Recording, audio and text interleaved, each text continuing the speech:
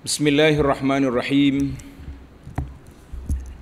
Alhamdulillahi Rabbil Alamin. Wassalatu wassalamu ala Rasuli Rabbil Alamin.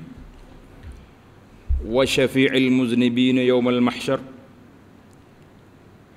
Ashadu an la ilaha illallah wahdahu la syarika lah. Wa ashadu anna muhammadan abduka wa rasuluh.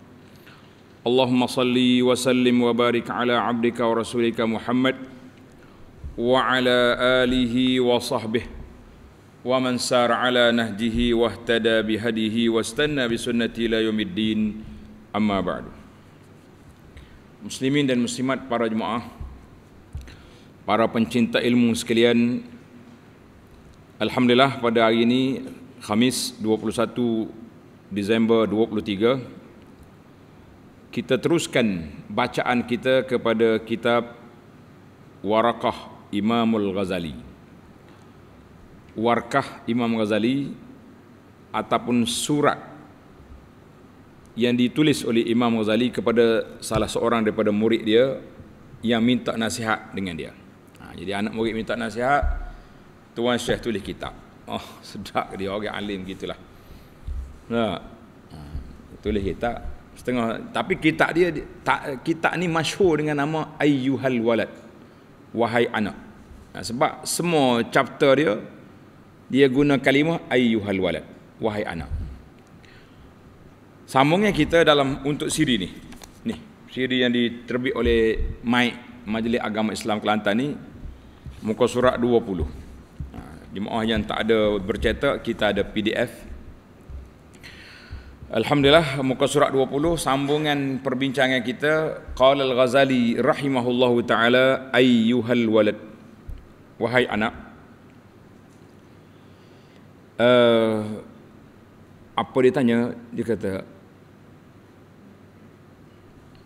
jika timbul lagi persoalan selepas ini mana lepas pada aku cerita kepadamu ni tentang bahaya-bahaya penyakit-penyakit yang adalah hati ni kalau timbul lagi soalan ni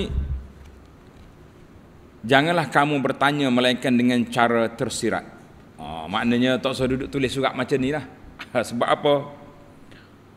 Sebab sudah ada belaka dah.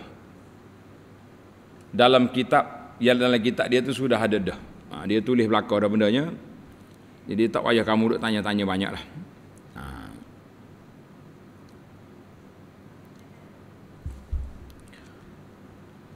Allah Ta'ala telah menyebut dalam surah Al-Hujurat ayat 5 Allah Ta'ala sebut dalam surah Al-Hujurat ayat 5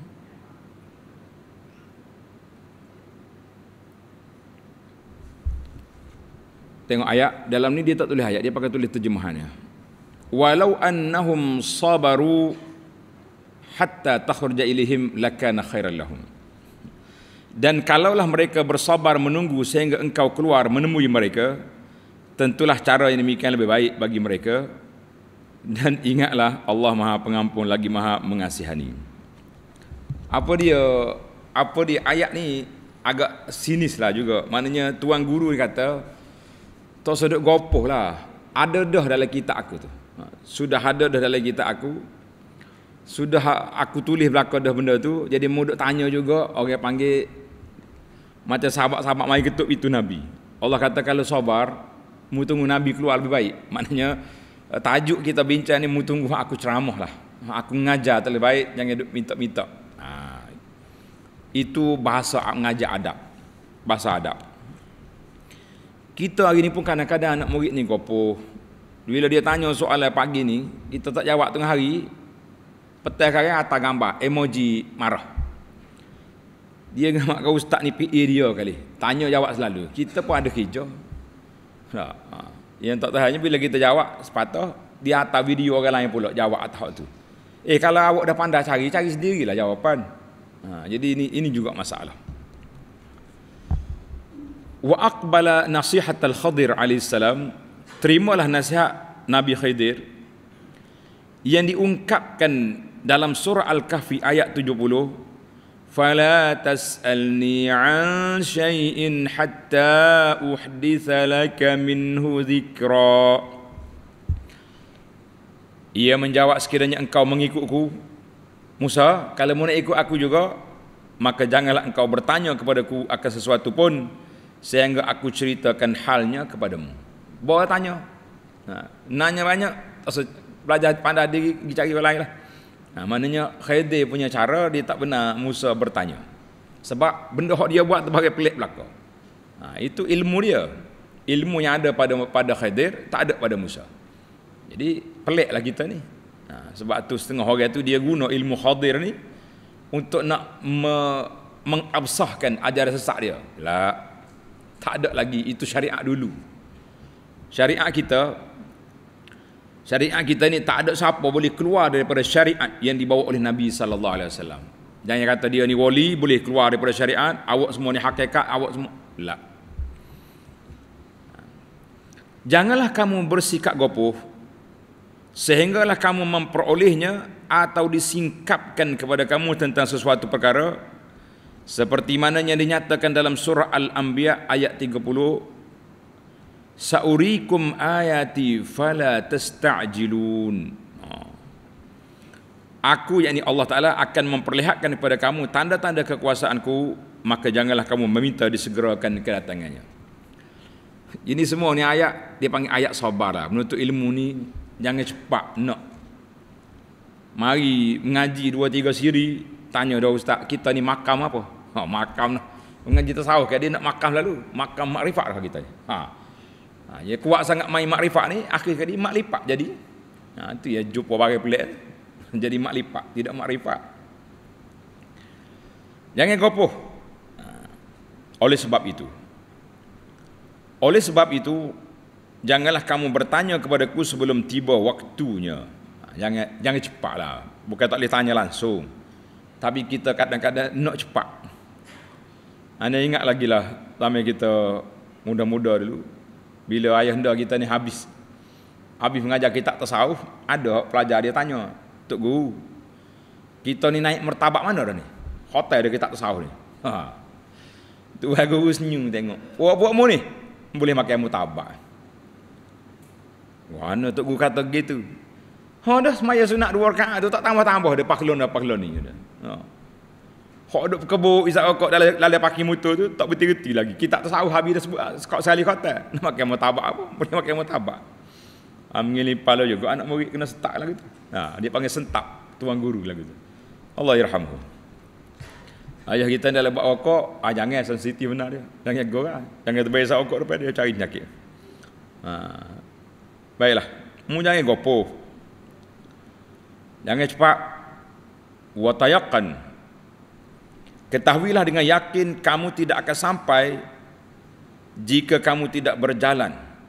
Maknanya kita ni nak ilmu tapi kita tidak berjalan mengikut tariqat ta'lim. Cara penuntut ilmu. Nak nak ilmu bawa kitab pun tidak. Nah. Bawa kitab juga kilik kitab apa ni pensel tak bawa dabit jadi kita kata macam mana nak dapat ilmu nak menuju pada Allah Ta'ala kita tidak mendekatkan hati kita kepada Allah jauh dia punya jarak sebagaimana firman Allah Ta'ala surah Ar-Rum ayat 9 awalam yasiru fil ardi fayanzuru tidakkah mereka telah berjalan dan mengembara di muka bumi serta memerhatikan bagaimana kesudahan orang-orang terdahulu daripada mereka. Jadi mana yang mau berjalan, perhati tengok. Habis, kita masuk pada episod lain pula. Ayyuhal walad. Wahai anak. Billahi intasir taral ajaib. Dengan nama Allah, jika engkau berjalan dalam menuntut ilmu, mencari mendekatkan diri kepada Allah Taala ini engkau akan melihat keajaiban pada setiap tempat yang kamu singgah. Korbankan jiwa kamu kerana modal dalam perkara ini ialah mengorbankan jiwa seperti kata Zunnun Al-Misri. Ha, kata Zunnun Al-Misri dia kata apa kepada murid dia.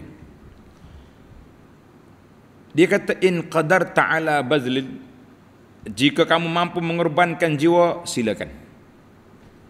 Maknanya jiwa kita ni nafsu kita ni kalau kita mampu korbankan dia, jangan ikut dia, silakan. Fata'ala.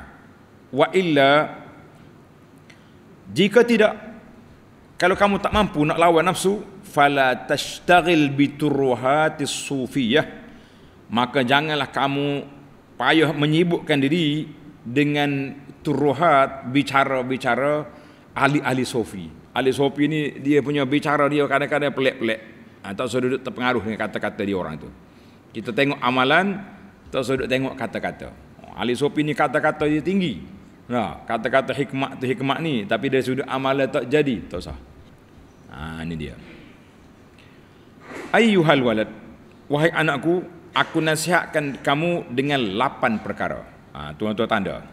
Kita pun ambil juga nasihat lapan perkara ni. Nah, sebagai ahli pendidik. Terimalah daripadaku supaya ilmu kamu tidak menjadi musuhmu pada hari kiamat. Ha, jadi kalau mau beramal dengan ilmu ni, ilmu kita tak jadi musuh kita sebab kita tahu kita amal. Kita tahu benda buruk kita berhenti. Ni tak hanya tahu benda buruk, eh tapi tak mau tak berhenti juga. Ha, penat. Bahaya sekali ni. Bahaya ni. Ni orang duk kempen sehari dua ni. Saya pun nak sama kempen walaupun saya ni tak ada tidak kerja potong gaji, tak. Tapi itu lo kempen pada orang lain. Ke dah beli SP bagi tahu. Sampai ke 24 ni. Siapa ni yang tak tukar kepada patuh syariah, power pay pula baru tukar. Maknanya setahun lagi harta dia duduk dalam bergelumang dalam akaun riba. Hati-hati tuan-tuan, jangan duduk pandai mudah benda kecil. Ai. Siapa dia kata riba benda kecil? Ha, jangan, tak ada kesedaran. Pasal itulah Hana minta dua ya. Kita beri kesedaran pada masyarakat, satu. Yang kedua, kerajaan sendiri sebagai sebagai orang Islam yang jaga keuangan umat Islam, otomatik ya. Orang Islam masuk dalam akaun Islam, kalau dia tak nak, dia tukar. Ha, biar puas hati, dia nak depan dengan dengan malaikat esok. Mung orang punya patuh syariah mulai Kenapa? Puas hati. Ha, tukar dulu. Mana asal orang Islam duduk dalam akaun syariah, lepas tu dia dia, dia tukar sendiri sebab nak bonus tinggi, nak dia punya dividen tinggi, awak cari sendiri punya pasal. Ha, baru betul. Ingat ni. Aku nasihat kepada kamu dengan lapan perkara, terimalah daripadaku supaya ilmu kamu tidak menjadi musuhmu pada hari kiamat kelak. Beramal dengan empat perkara ini dan tinggalkan empat perkara. Empat kena buat, empat kena tinggal. Baik, kita ambil yang tinggal dulu. Aha. Empat perkara yang perlu kamu tinggalkan itu ialah Yang pertama, janganlah kamu berdebat dalam sesuatu perkara semampumu kerana pada perdebatan itu banyak penyakitnya. Allah. Tuan Syekh tak mahu kita berdebat banyak. Hmm. Munazarah dipanggil. La tunazir. Keburukannya lebih besar daripada manfaat. Ia adalah punca segala akhlak buruk seperti ria. Manakala kita berdebat kita benar, zab naik pasal ria. Kalau kita kalah, kita hasad. Kita boleh tewahkan orang, kita sombong. Orang tewahkan kita, kita dengki perseteruan dan sebagainya akan timbul daripada perdebatan. Sebab tu dia beza berdebat dengan muzakarah lain. Muzakarah ni kita nak cari hak benar. Debat ni kita nak menang. Ha, itu dia punya istilah. Tak ada orang yang debat nak kalah. Tak Saya bawa rombongan pelajar terbaik sekolah lagi berdebat sekolah lain. Tapi kita nak kalah. Mana ada lagu tu? Ha. Sekiranya terdapat masalah antara kamu dan orang lain, berdebat ini dibolehkan jika tujuan kamu untuk menzahirkan kebenaran. Mana kita tahu dia tu memang salah. Kita berdebat kerana izharul haqi itu dibenarkan dengan SOP dia lah. Terdapat dua tanda yang kamu ingin zahirkan kebenaran. Ha, dengar ni. Mana kalau kita kata aku berdebat ni kerana nak zahirkan kebenaran, ada dua tanda. Tanda ni tuan-tuan. Pertama, yang pertama, tanda yang pertama, kamu tidak kisah kebenaran itu timbul daripada lidah kamu atau daripada lawan kamu. Yang penting kita nak nak cari al-haq, dia betul ke? Dia benar ke kita benar? Tak kira. Yang penting, zahir kebenaran. Hmm. Payah nak jumpa lah. Yang kedua, kamu lebih suka berbahas secara tertutup daripada berbahas depan orang ramai. Kita kalau berbahas ke, not live, ah, streaming selalu. Nak, live. Ah, biar tutup gagak-gagak buih mulut depan orang. Ha, baru sedap ni buat tertutup, tertutup lepas tu kalau dia kalah dia tak sebar video ha, ada juga lagu tu perangai kalau dia benar, hentam kita hari-hari. Ha, ini penganjur pun bayar juga. Ini ha, masalah kita. Maka kita ikhlas kita tutup. Dengarlah aku akan menyebutkan di sini suatu perkara yang sangat berfaedah. Ketahuilah, soalan daripada orang yang punya permasalahan itu menjadi suatu cara penyakit hati itu dikemukakan kepada doktor, jawapan dikemukakan pula menjadi ikhtiar bagi merawat penyakit. Mana kalau orang tanya masalah, mana dia sakit. Kita yang ada ilmu sebagai tabib kena selesaikan penyakit dia. Maknanya bagi jawapan yang yang mukni, yang baik. Ketahuilah Orang-orang yang jahil itu hati mereka berpenyakit. Allah. Manakala para ulama pula adalah sebagai doktornya. Orang alim yang tidak cukup ilmu tidak mampu merawat pesakit dengan baik. Bahkan orang alim yang sempurna ilmunya pun tidak mampu merawat semua penyakit tetapi hanya boleh merawat orang sakit yang bersedia menerima rawatan bagi dirinya. Jadi kadang-kadang orang itu mari. Nah, dia mari nak berubat kitanya pakar tapi dia tu tak siap terima. Lain pula. Jadi banyaklah faktor-faktor penyakit tidak sembuh. Ha, penyakit tak sembuh. Jika penyakit itu berterusan atau sangat kronik yang sukar diubati doktor yang mahir akan mengatakan ha, jadi kalau benda tu dia panggil benda tak boleh nak ubat dah. Tak boleh nak ubat. Doktor apa dia? Illi anna fihi uh, fala tashtaghil bi mudawatihi doktor kata mu tak sudah habis masa lah duk mengubat penyakit ni sesungguhnya dia merugikan umur kamu. Penyakit ni tak tak sembuh. Tak sah. Ha. Ana waktu jumpa dengan sahabat-sahabat kita sahabat kita belaka doktor ortopedik ni hok pakatulam macam-macam dia buat. Cocok lah ubat. Bui tu bui ni makan ubat hok. Mahal cocok tu seribu lebih sebotol. Hmm. akhir sekali kata apa ustaz? Abu Anas saya nasihat ke duit yang ada tu boleh tabur pondok lah boleh beli ubatnya dulu tu awak ni tidak makan tidak makan ubat dah. Habis hmm, kena kerak buah lain dia kata. Ah kita kata penat. Ha. dia tengok maknanya orang ni ada orang ni dia nak menerima rawatan penyakit dia tak kronik sangat. Jadi kita boleh bagi rawatan, bagi nasihat. InsyaAllah dia jadi baik. Tapi ada orang ni, orang panggil tak makan sama lah. Gi nasihat pun, hmm, buat ngabih masa ya. Biar dulu. Takut-takut satu hari dia nak berubat dengan cara baik. Sebab doktor ni, kalau kita beri ubat comel setara mana pun, kalau dia tak telai ubat, jadi tak jadi. Tak jadi. Ramai orang pergi hospital, dia suka nak jumpa doktor sebab boleh jalan. Tak tak mahu orang tua ni, dia panggil boleh berderak. Anu pergi hospital. Allah balik tu pasal pagi tu dia berhenti. Lepas tu balik dia sebek ubat tak makan. Mana macam-macam kita ada kalau perangai lagu tu? Ha, bunyi ha, bunyi lain macam jawab.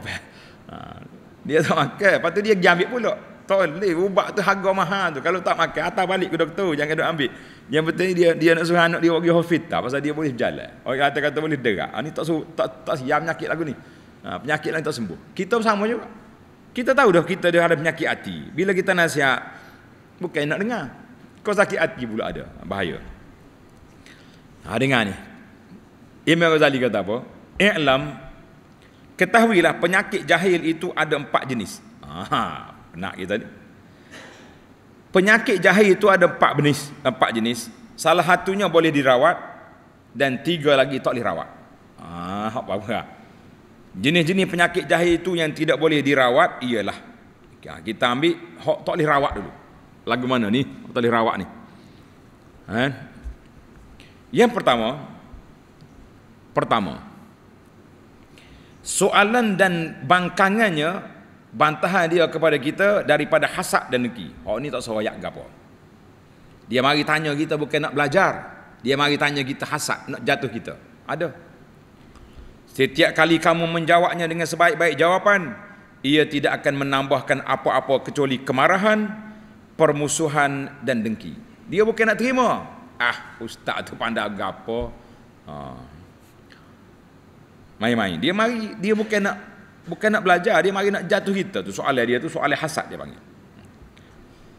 Ada dikatakan dikatakan apa dia? Fattariq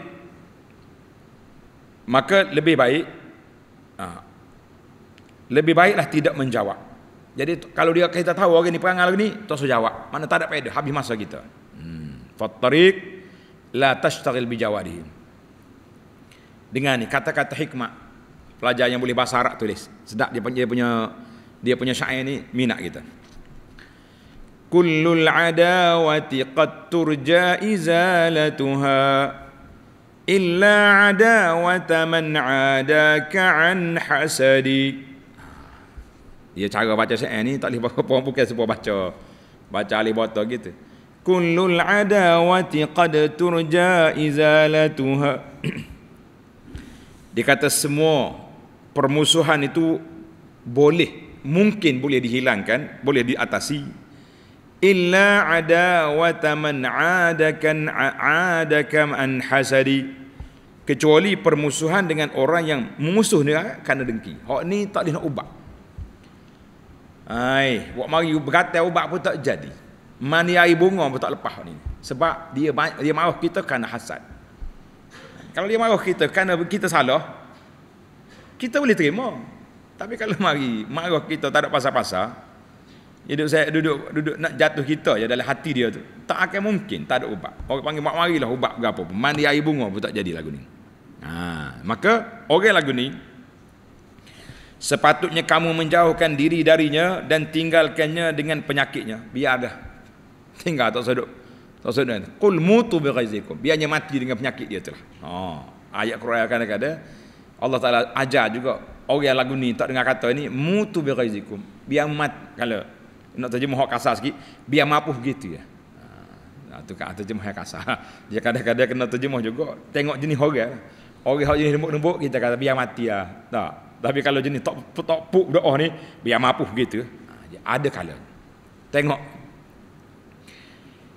Allah Taala berfirman dalam surah An-Najm ayat 29, "Fa'arid 'amman tawalla 'an dzikrina wa lam yurid illa al-hayata ad-dunya." Oleh itu janganlah engkau wahai Muhammad sallallahu alaihi wasallam hiraukan orang yang berpaling daripada pengajaran kami, daripada Quran kami, daripada ajaran Islam dan tidak mahu melainkan kehidupan dunia semata-mata. Tak sedap peduli dia lah habis masa. Pergi cari orang lain.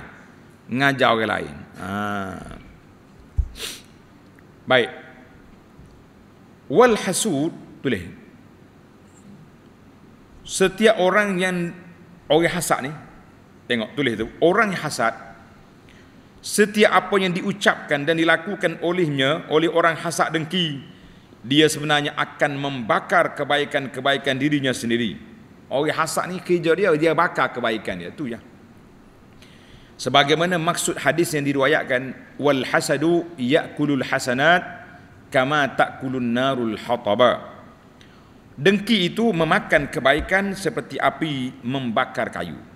Ha, penak kita ni. Tulis tulis hadis ni rawahu Abu Daud bisanadin dhaif sanad dia lemah. Ha. yang kedua. Jahil yang kedua hak tak hak orang panggil hak talih wakil Penyakit yang timbul daripada kebodohan juga tidak boleh dirawat. Ha. Dia kata penyakit mari daripada hamaqah. Hamaqah ni bodoh. Ha ni tak boleh buat apa lah ni. Tak boleh buat apa. Seperti mana kata Nabi Isa AS. Inni ma ajaztu an ihya'il mauta. Isa kata aku boleh menghidupkan orang mati. Allah bagi pada aku mukjizat boleh hidup orang mati. Kalau orang mati Isa pergi tepuk, pak, pakcik, Eh, celek mata kawan tu. Hok mati. Pak cik tinggal mana anak kau cik ni mak cik cari ni. Ha, dia boleh jawab. Ada celah pintu tu. Lepas mati balik. Tapi Isa kata, Nabi Isa kata apa? Dalam riwayat ni lah saya pun tak tahqiq ada. Wa qad ajaztu an mu'alajatil ahmaqi, tapi aku tak boleh rawat orang bodoh. Orang mati aku boleh pergi hidup, orang bodoh aku tak boleh buat apa.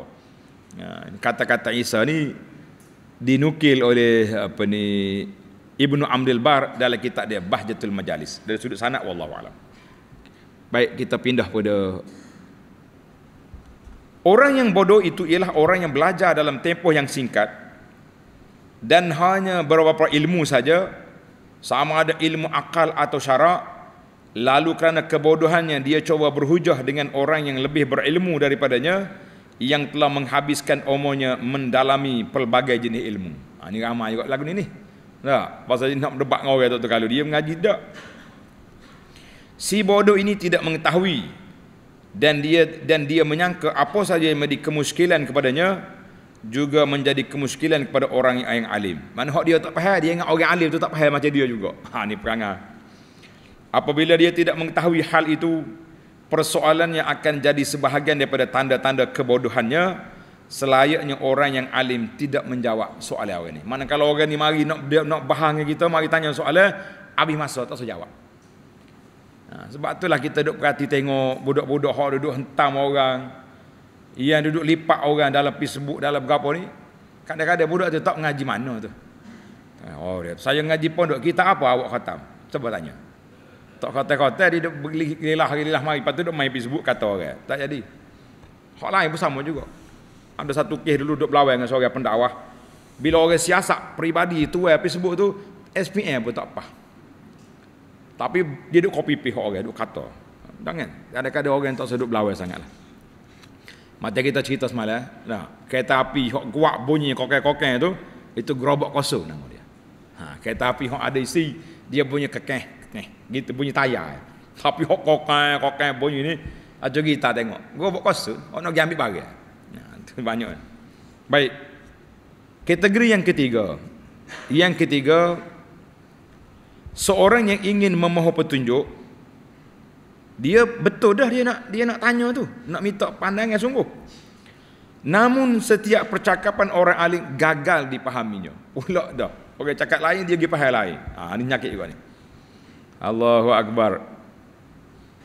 Ia diandaikan berpunca daripada kepahaman yang cetek soalannya bertujuan untuk mendapat faedah Namun oleh kerana pemahaman yang cetek Dia tidak dapat memahami hakikat sebenar suatu perkara. Jangan duk tanya benda berat lah. Awak pergi tanya rukus maya berapa Dah batas solat berapa perkara. Pada yang hot tu Ni mari tanya hakikat makrifat. Ah. Hot tu jadi Tak kau ajar sesak ni Kes ni apa kita ni sebenarnya. Hmm. Dia mudah percaya Mudah koyok pada orang. Ha. Kerana itu tidaklah perlu bersusah payah untuk menjawab soalannya tidak payah menjawab soalannya. Tak usah jawab senang tulis.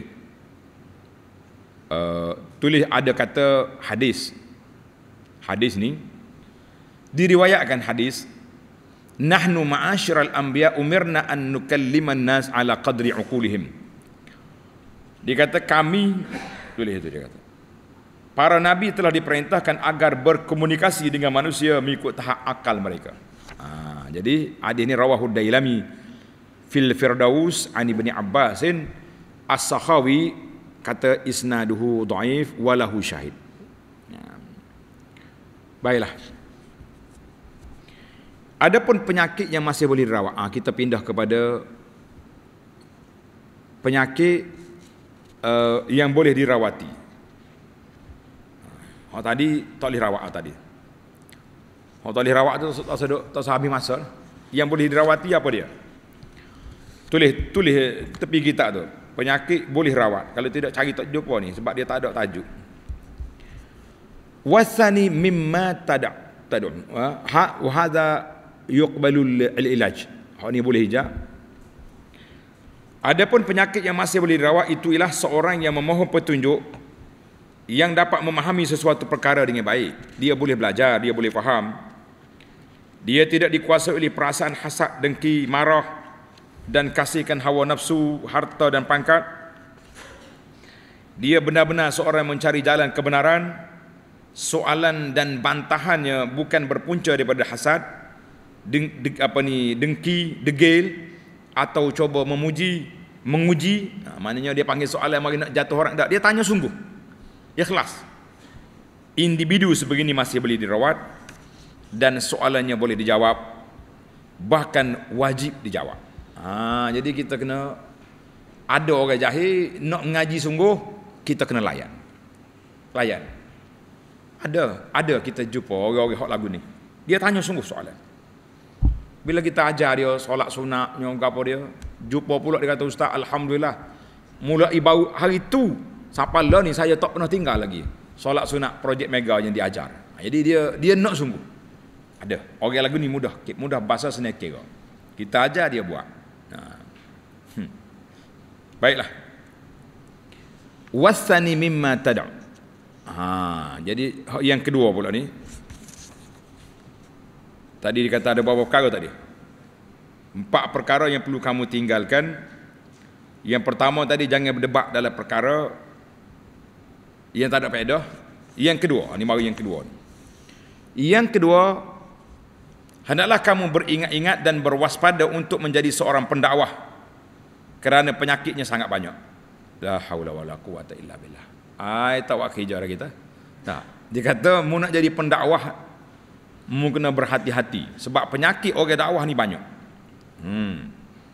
Melainkan kamu beramal terlebih dahulu dengan apa yang kamu ucapkan Kemudian barulah disusuli dengan nasihat-nasihat kamu pada manusia. Maknanya kita kena kena buat apa kita kata tu. Jangan duk cerita kau orang saja. Fikirkan apa yang pernah diucapkan oleh Nabi Isa AS. Nabi Isa kata apa? Ya benar Maryam. Iz nafsaka. Hei anak Maryam. Dia telah. Mana dia dia kata kepada diri dia. Nasihati diri kamu terlebih dahulu sebelum kamu menasihati manusia lain. Jika tidak, malulah kamu kepada Tuhanmu. Musuh orang buat, kamu tak buat. Ha, ini benar kita. Kata-kata ini diriwayat oleh Imam Ahmad kita Az-Zuhd Abu Nu'ain fil Hilyah. Jika kamu diuji dengan tugasan memberi nasihat dan peringatan, mana kita ni nak beri nasihat kau kan? Takkan kita nak tunggu jadi baik semua baru nasihat? lah, tak boleh. Kena nasihat. Maka adalah kamu berhati-hati dengan dua perkara. Ha, dua perkara ni kena ingat. Yang pertama, jangan kamu memayahkan dalam pengucapan. Oh, guna bahasa pelik-pelik. Orang nak payah cari kamu. Nak main ngaji dengan kita, tu bawa kilik kamu. Dia sebutin. Pasal ustaz ni cakap pelik. Tak sah. Ha. Tunjuk ajar, eh, kata-kata tunjuk ajar dan sebagainya, kerana Allah benci kepada orang yang suka memayahkan suatu perkara yang tidak perlu manusia seperti itu ialah mereka yang batinnya kosong dan hatinya lalai dia sendiri cuai daripada mengingati Allah Azza wa Jalla ha, dia nak suruh nak suruh orang kagum dengan dia tu nak oi dia cakap bahasa tinggi ana jumpa dengan dengan seorang pengkagum tasawuf di di kota baru dia dia minai sebelah kita sebelah Lepas tu Tok Guru dia nak naik ke motorbike dia tanya. Ustaz kenal awak tadi baju baju kuk. Kata tak apa cik. Oh. Alim tasawuf. Kita tanya, setara mana alim dia tu? Kalau dia cakap kita tak faham. Oh, kita kata syarat orang alim ni kena dia ceramah siapa tak faham baru alim. Ni orang kita duk cakap ni tak alim lah. Tak, mungkin boleh faham belaka. Oh, kata kenapa tak bagi tahu awal saya sini saya nak cakap dengan dia tak? Dia saya tak faham juga. Ah, baru jadi. Hai main-main dia. Eh, macam-macam. Ha, dengan main-main. Tak ada, bukan siapa peringkat tu. Maksud peringatan ialah seseorang itu menyebut-nyebut tentang api neraka, kecuaian dalam mentaati Allah, juga berfikir tentang umur yang telah habis dalam perkara yang sia-sia, dan bagaimana keadaan imannya di saat berdepan dengan kematian, bagaimana pula keadaan dirinya ketika nyawanya akan dicabut, mampukah dia menjawab soalan mungkar nakir, Dapatkah dia memberi perhatian kepada dirinya sendiri pada hari kiamat? Adakah dia mampu menyeberangi titian sirat secara selamat atau terjatuh ke dalam neraka? Hendaklah dia berterusan menyebut-nyebut perkara ini adalah hatinya yang akan mengejutkannya dari kelekaan. Jadi kita duk memikir aku di akhirat esok boleh lepas kau ni. Ha, masuk dalam kubur boleh jawab ke? Barulah kita jadi ha, jadi takut. Hmm. Begitu juga dengan kepanasan api neraka dan ruangan orang-orang ditimpa azab itu dan raungan orang-orang ditimpa azab itu ini semua dinamakan sebagai tazkirah. Ha, jadi kita kena ingatlah itu dia panggil tazkirah. Kalau kita kata kita nak bagi tazkirah, tazkirah mana peringatan. Ni soalan-soalan ni. Malam ni cuba balik tengok. Sebelum tidur tengok buku, tengok ni. Muka surat 24 ni. Boleh jawab tak boleh jawab. Kalau serau boleh jawab, tidur sedap. Kalau serau tak boleh jawab, bangun. Baca Quran, tahajud, apa ni istighfar tadabbur Quran banyak-banyak ha. Manakala usaha manusia mengingatkan tentang perkara ini kajian-kajian mereka tentang perkara ini amaran mereka terhadap kecuaian dan sikap melampau mereka pendedahan mereka terhadap keaiban diri mereka sendiri agar orang ramai seolah-olah dapat merasakan kepanasan api neraka. Jadi kita sebutlah kita ni takut perkara ini akan mengejutkan mereka agar mereka menghabiskan sisa-sisa umur mereka sebaik mungkin serta merasa menyesal dengan hari-hari yang lalu yang bukan dalam ketaatan kepada Allah Azza wa Jalla ini semua dinamakan sebagai wa'iz pemberi nasihat.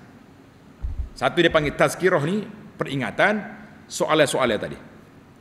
Ia menyentuh perasaan itu nama dia wa'iz maknanya ia memberi nasihat dalam jiwa kita sendiri itu. Ha, ini Allah baru kita boleh faham tak hmm. eh jangan duk main yang dimaksudkan dengan nasihat nasihat tu apa pula dan dakwah yang tidak memayahkan itu bolehlah diumpamakan dengan suatu situasi dalam sebuah rumah yang dilanda banjir Allahumma sturna ya Rabb kita minta Allah Ta'ala selamatkan kita daripada banjir. Ini macam-macam teori orang duduk sebar. Eh? Buat pis uh, info banjir, duduk menakutkan orang. Akan berlaku hujan lebat. Lebih pada 2014, tak usah lah. Bagi tahu setakat ramal uh, kaji cuaca kata, dia mungkin akan berlaku hujan gini-gini. Pada ni duduk royak pelik-pelik. Jadi menakutkan orang. Tidak elok lagu itu. Hmm. Tengok cerita banjir. Sebuah rumah dilanda banjir, tuan rumah dan keluarganya ada dalam rumah tersebut. Apabila kamu melihat situasi cemas ini pasti kamu akan berkata awas awas al hazarul hazar jaga weh jaga lari air makin laju ni lari cepat mana mungkin terlitah di hati kamu untuk beritahu mereka dengan cara yang memayahkan pendengar untuk memahaminya seperti sajak atau pantun atau sebagainya. Dah kita tahu benda bahaya, woi lari. Cukuplah. Lari. Ya cepat. Tak kayak kita nak kata tuan-tuan dan puan-puan di jawab dia ni bahaya ni bahaya dia. Ah. jadi sama sekali tidak mungkin. Maka begitu jugalah dengan pendakwah. Hendaklah dia menjauhkan dirinya dari memayahkan cara berdakwah ni ada ada orang ni orang bawa kereta depan tu ada lembu ada lembu duduk tidur jadi pak cik orang tepi jalan ni "Woi lembu, Tuai kereta pecelek mata pasal. Mu beruk dia tanya. Kau kereta dia langgar lembu lalu. Ha, aku aku ajak lembu depan boleh kata kau. Tengok.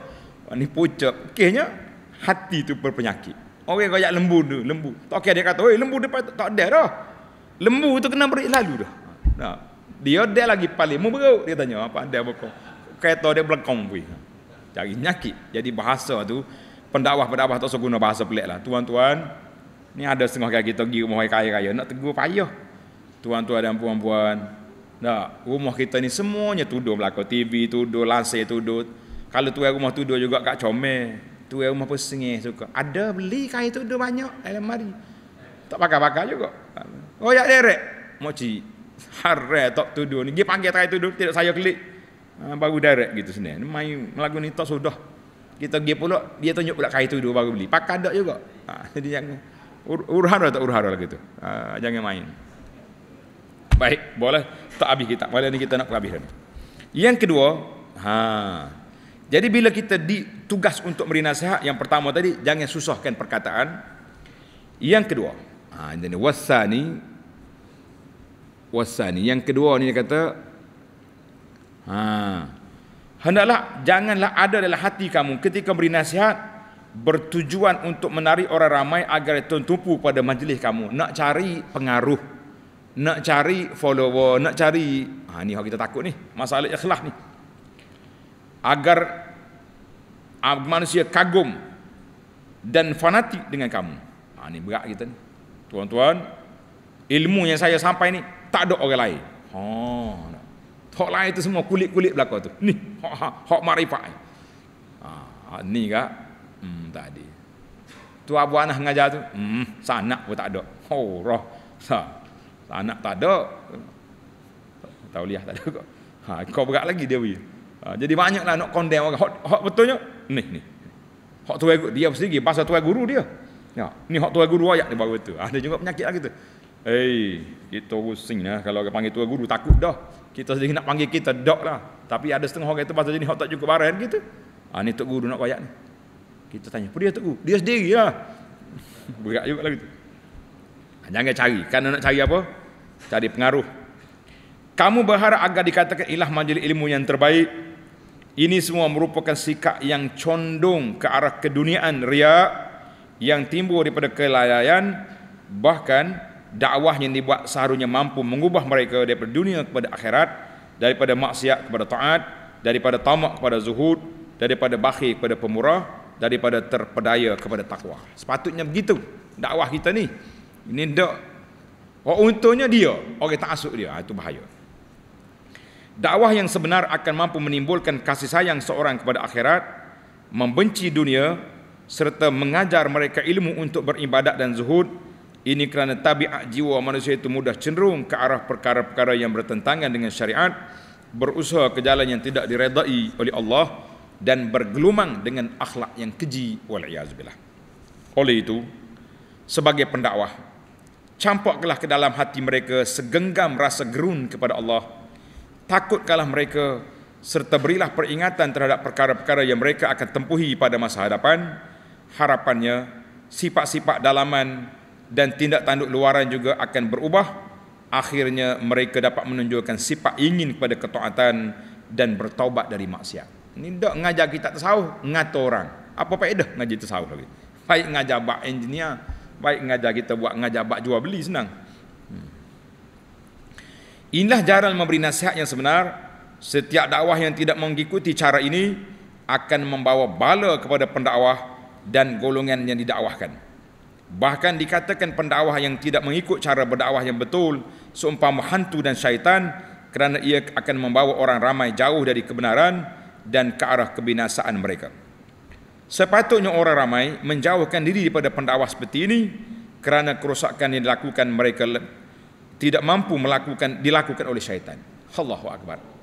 Eh, Imam Ghazali ni kadang-kadang dia sentap katok atas kepala ni. Nah, eh, syaitan kita tahu dah dia jahat. Ni hok mari hidup sini balik sebar dengan jubah ni. Mari hidup mengajar dia palsu lah, mari hidup mengajar ngato kau orang ni. Mari hidup mengajar tu apa ni tak payah semaya dah, pakai niat. Hak ni hok hak ni hok, hok syaitan tak mampu nak buat. Syaitan mampu ajak orang tak semaya dah. Tapi nak cari atas masjid ni supaya tak semaya, tak boleh buat syaitan. Syaitan ni yang boleh buat ni. ni syaitan di sebalik serbai dengan jubah ni. Nauzubillah. Ha, ni Imam Ghazali kata, "Weh, bukan saya." Tanda boleh. Ada kata kuan Abu Anas kata kau dia, dia kata ni. Tengok ni. Kerusakan yang dibuat oleh pendakwah yang tidak betul ni tidak mampu dilakukan oleh syaitan. Mana-mana orang yang punya kuasa dan keupayaan wajiblah dia menurunkan pendakwah ini dari mimbar orang-orang Islam dan menghalangnya dari apa yang sedang dia lakukan tindakan sebegini termasuk dalam usaha amar ma'ruf munkar maknanya orang yang mengajar pelik-pelik kejak-kejak nabi marilah kejak-kejak benda tu benda ni hak ni tujuan tak si pergi tauliah ni inilah tujuan dia tapi kadang-kadang orang salah guna orang tak si pergi tauliah kepada orang yang dia tak suka bukan kerana tak ada ilmu ha, ni hak ada hak tak ada ilmu sungguh hak duduk mengapu boleh pula. Ha, kita kata itu masalah kita. Baiklah. Yang ketiga. Yang ketiga uh, wasalisu mimma tada. Perkara yang ketiga yang kita kena tinggalkan. Ha ni berat sikit ni. Alla tukhalital umara wal salatin. Janganlah pendakwah itu cenderung untuk berdamping dengan raja dan pemerintah yang zalim, yang fasik kerana amalan sebegini mempunyai kemudaratan yang besar. Mudaratlah kita lagu ni.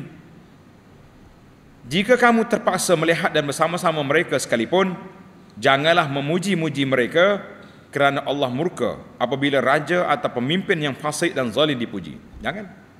Sebab tu dalam hadis uh, dalam hadis uh, Nabi sebut, Imam Ghazali tak sebut dalam kitab ni. Tulis tuan-tuan hadis uh, Innar rajula la yatakallam bil kalimati ada seorang laki-laki ni bercakap dengan satu kalimah saja yang dimurkai oleh Allah Taala dia pun tak perasan benda tu benda tu dimurkai oleh Allah tapi dia akan dicampak ke dalam neraka yang begitu besar jadi ulama hadis kata kalimah itu kalimah tu kalimah jahat yang diucap depan pemerintah yang zalim ini bahaya mengampu orang panggil kalimah pengampu sepatutnya orang alim nasihat kepada pemimpin yang zalim bila dia hidup puji, bereslah.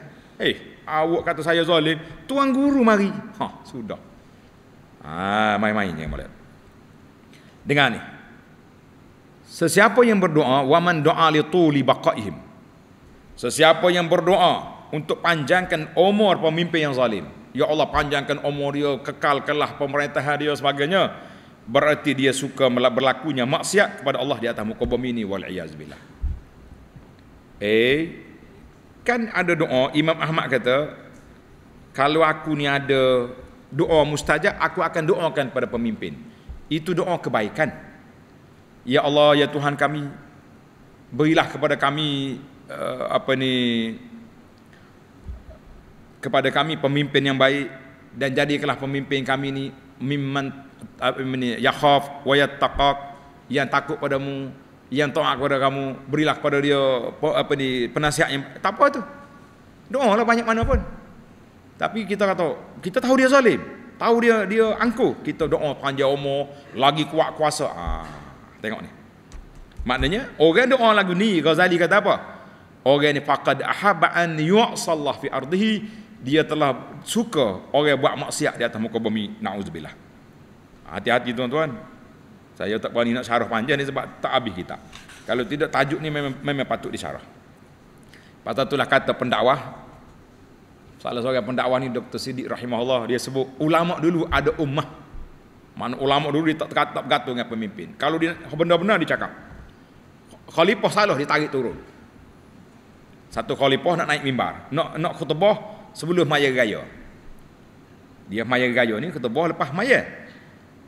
Khalifah naik mimbar dia pergi jubah turun. Solat dulu baru khutbah.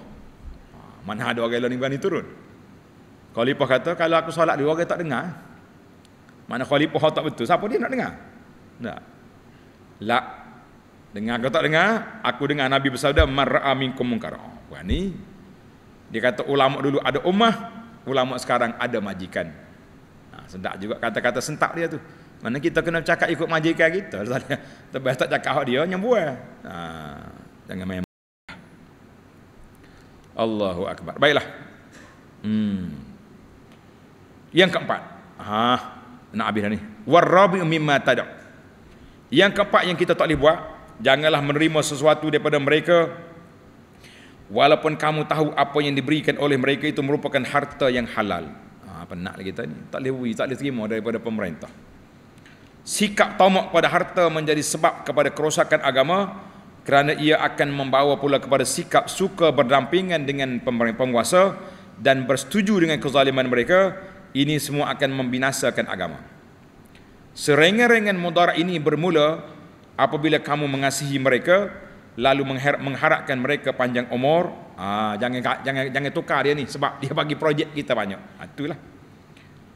Sekaligus kemudaratan daripada mereka juga berpanjangan. Kasihkan orang zalim samalah seperti mahukan kezaliman itu berlaku pada orang-orang yang soleh dan mahukan kehancuran, kehancuran alam ini apakah ada kemudaratan lebih besar lagi daripada kemudaratan terhadap agama? Jawabnya tidak ada. Allahu akbar. Jadi hati-hatilah kita. Kita mohon Allah selamatkan kita. Ah, ini Imam Ghazali berdoa kita mohon Allah Taala selamatkan kita. Amin ya rabbal alamin. Hmm. daripada disesatkan oleh syaitan atau disesatkan oleh kata-kata seperti ini apa dia kata-kata ni?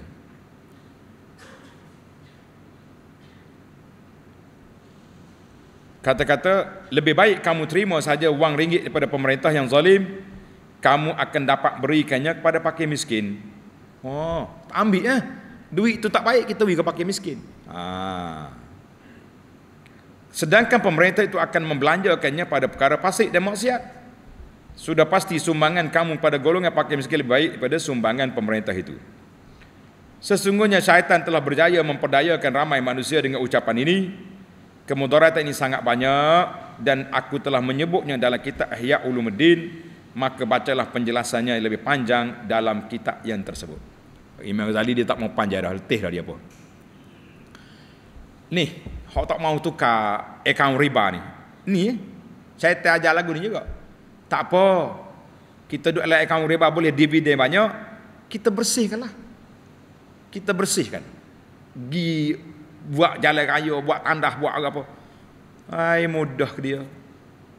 buat muamalah dengan riba tu dosa besar. Tapi syaitan kata boleh bersih. Macam baru ni lah bila ada stadium nak buat program orang putih mari nyanyi geng, geng LGBT mari. Nah, tak apa boleh maya sini ada surau. Ha. Eh bijak syaitan. Kalau tak bijak bukan syaitan. Ha, main-main.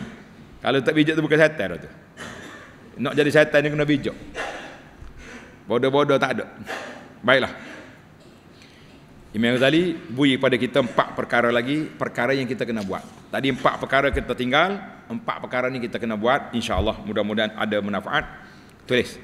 Wa ammal arba'atul lati yanbaghi laka an taf'alaha. Adapun empat perkara yang mesti kamu lakukan pula ialah yang pertama hendaklah kamu berinteraksi dengan Allah seperti mana kamu mahu hamba atau budak suruhan kamu berinteraksi dengan kamu dan kamu berpuas hati dengan tugasannya. Manakala kita suruh orang gaji kita buat, dia patuh, kita bersuka. Ha. Apa yang kamu tidak berpuas hati dengan tugasan hambamu itu, walaupun dia bukan hambamu yang sebenar-benarnya, kamu juga sepatutnya tidak berpuas hati dengan tugasan kamu terhadap Allah, kerana dia tuan kamu yang sebenar. Allah suruh kita semaya. Maya molek ke kita ni? Allah suruh kita jaga syariat. Jaga molek ke tidak? Ha. Kalau tak jaga, maknanya kita cuai dalam tanggungjawab dengan Allah. Mari kita betul channel kita, insya-Allah.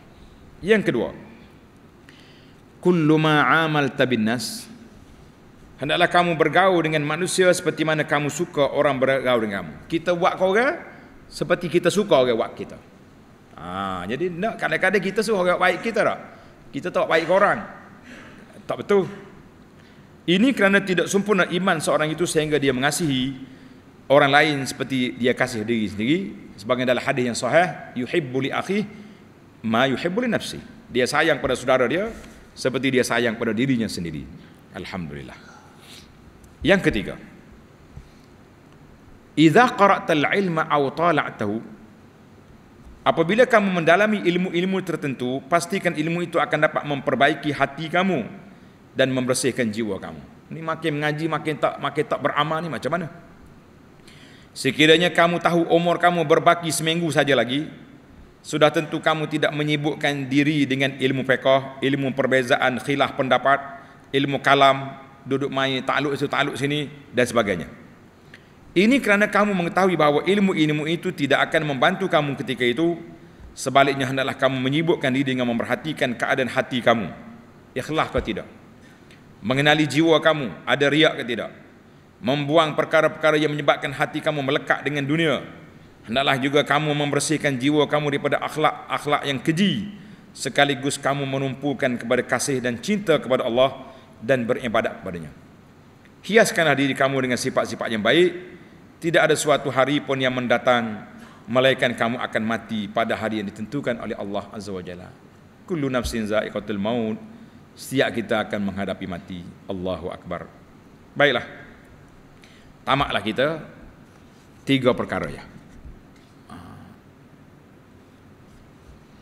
Ayuhal walad Wahai anak ah, Ni tak habis lagi ni Dia break tu Dengarlah kata-kataku yang lain Fikirkanlah dengan baik Sehingga kamu dapat mengambil intipatinya Sekiranya Kamu diberitahu bahawa Sultan akan datang menziarahi kamu Dalam tempoh seminggu akan datang Aku pasti bahawa kamu dalam tempoh ini Kamu tidak akan melakukan apa-apa Melainkan kamu memperelokkan perkara-perkara yang kamu yakin Sultan akan melihatnya nanti Apabila datang ke rumah kamu seperti pakaian, tubuh badan, rumah, kenderaan, perhiasan.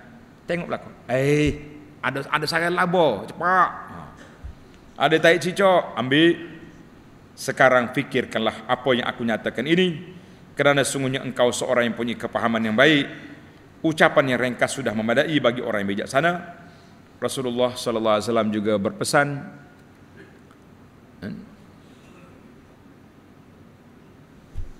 mana hadis dia katanya ah.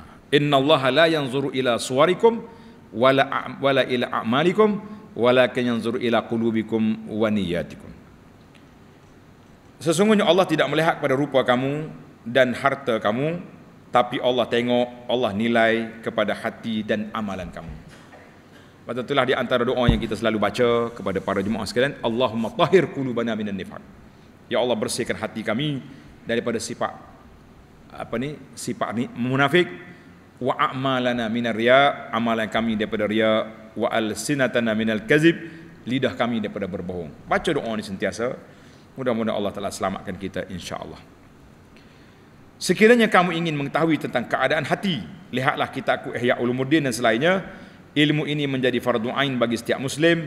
Manakala ilmu-ilmu yang lain pula menjadi fardu kifayah melainkan sekadar yang boleh membawa kamu menunaikan kefarduan kepada yang lain Allah akan beri taufik pada kamu agar kamu dapat menunaikan segala kefarduan itu.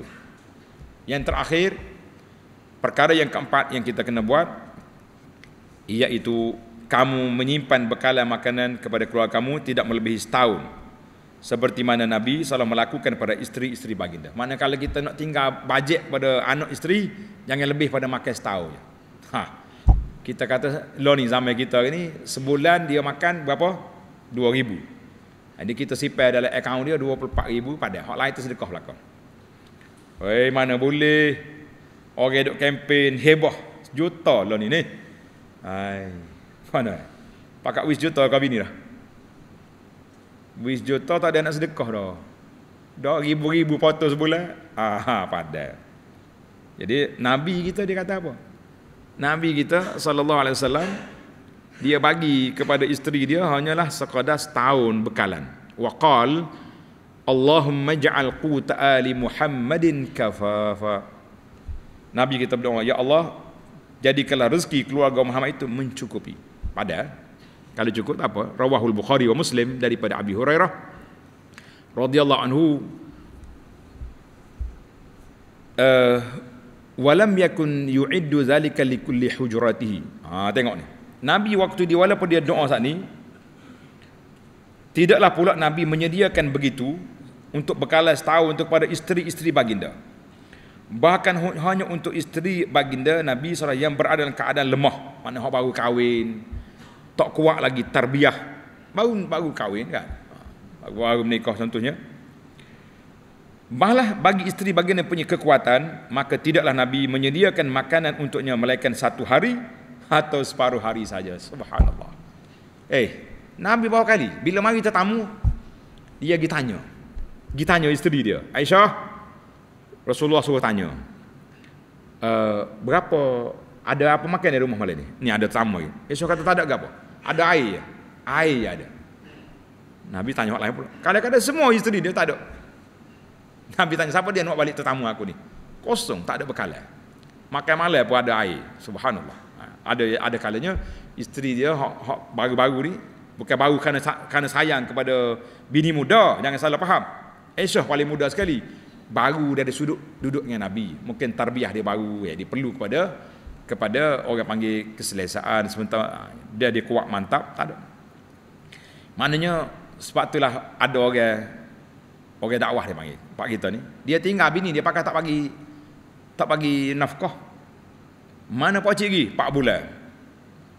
Pak anak bini? Kan? No ya.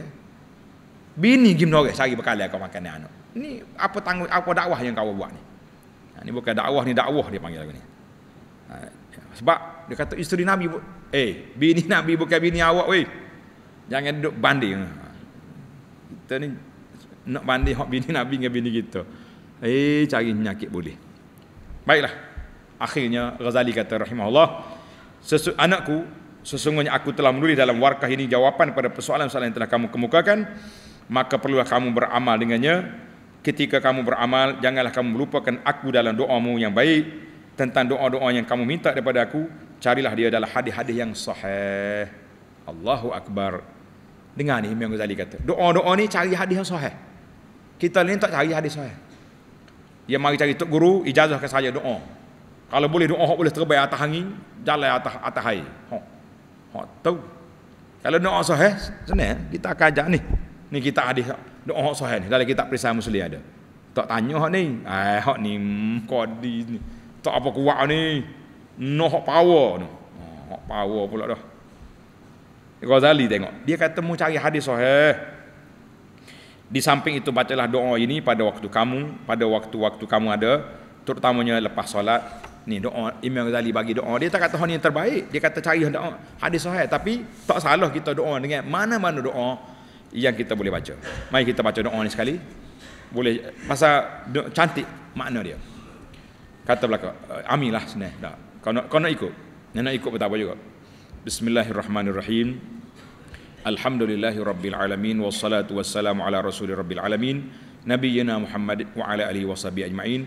Allahumma inni as'aluka minan ni'mati tamamaha wa minal ismati dawamaha wa minar rahmati shumulaha wa minal afiyati husulaha wa minal aishi arghadah wa minal umri as'adah wa minal ihsan atammah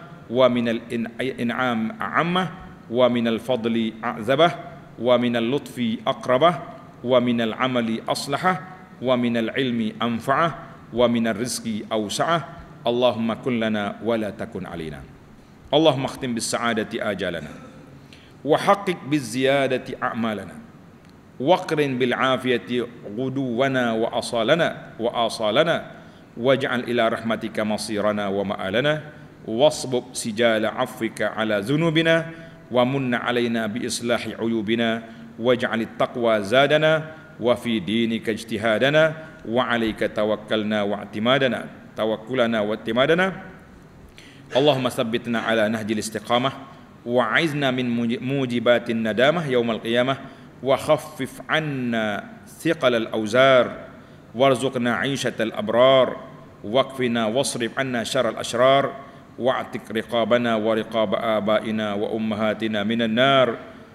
والدين والمظالم يا عزيز يا غفار يا كريم يا ستار يا حليم يا جبار برحمتك يا ارحم الراحمين وصلى الله على خير خلقه محمد واله وصحبه والحمد لله رب العالمين والسلام عليكم ورحمه الله وبركاته